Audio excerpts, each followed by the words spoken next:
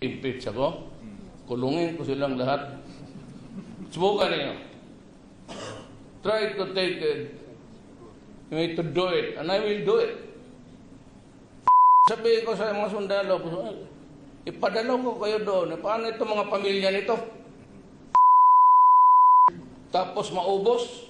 Tapos takot-takotin niya ako ng impeach. Bukan mo. Ito ang paghahamon ni Pangulong Rodrigo Duterte sa mga kritiko na nagbabantang maaari siyang ma-impeach dahil sa pagpayag na makapangisda ang China sa Exclusive Economic Zone ng Pilipinas sa West Philippine Sea. Ayon sa Pangulo, subukan lamang ng mga ito na maghain ng impeachment dahil ikukulong niya ang mga ito at ipadadala sa Beijing. I-impeach mo ako, i-deliver ko kayo sa Beijing lahat. You try that. You want me not only to violate the Constitution, how can I protect the resources when there is nobody to eat it? How can I protect the fish there and the and the produce of the land kung walang kakain? Kayo? I am challenging you to do it. You really want to force my hand into it? Okay. Okay ninyo. Nauna rito, sinabi ni dating Foreign Affairs Secretary Albert Del Rosario at ilan pang senador na impeachable offense ang ginawa ng Pangulo sa pagpayag sa China na makapangisda sa karagatang sakop ng Pilipinas dahil hindi nito naprotektahan ang soberanya ng bansa.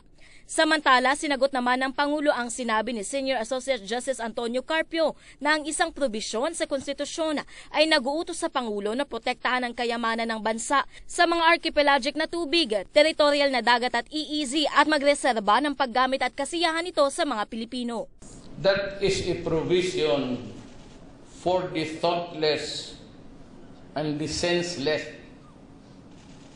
The protection about economic rights, about the economic zone, resources. I am protecting the country and 110 Filipinos.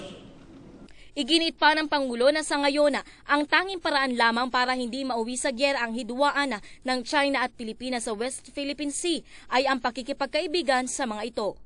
as it is now. Like any other crisis, World War II, World War I, there was no remedy inside. But God, in His infinite uh, wisdom, will find the answer.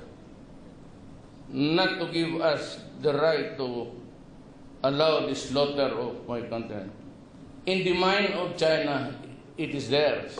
In our mind, pati ni Carpio et al. Ngayon, sabi ko, turuan ninyo ako paano na sinagot na ako ni Xi Jinping noon, there will be trouble. Kaya, sagutin mo muna ako justice. Uh, give me the formula at gagawin ko. Ani Bico, Newslight.